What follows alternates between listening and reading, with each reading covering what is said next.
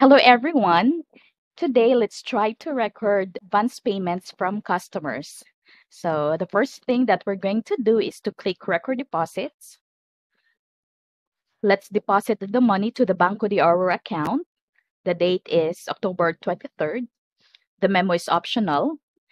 And the money is from 1268 JMJ customer. And the account is accounts receivable. Let's put in a memo. Check number is optional. Payment method is optional. Class is optional. The amount is 10,000. Right? And then I will click save and close. So when we go back to the customer center, it will create a negative amount on the customer account. Let's now create the invoice. I'll go to the home page and then click create invoice. Put in the customer name. Class is optional. Account is accounts receivable. The date is October 25th.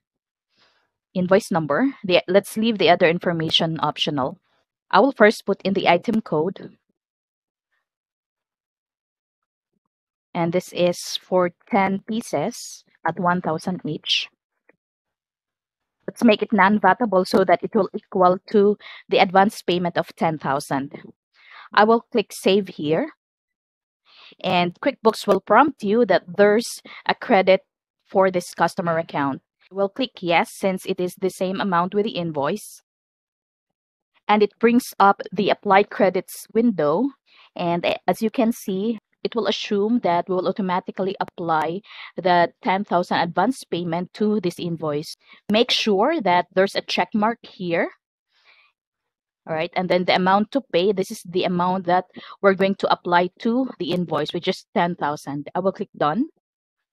Okay, so the invoice will be stamped as paid. The balance due is zero. Let's click save and close. And then going back to the customer center, the customer balance is now zero.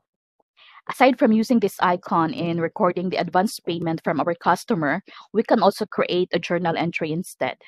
So let's create a journal entry, company, and then make general journal entries. The date is October 25th. The account is accounts receivable.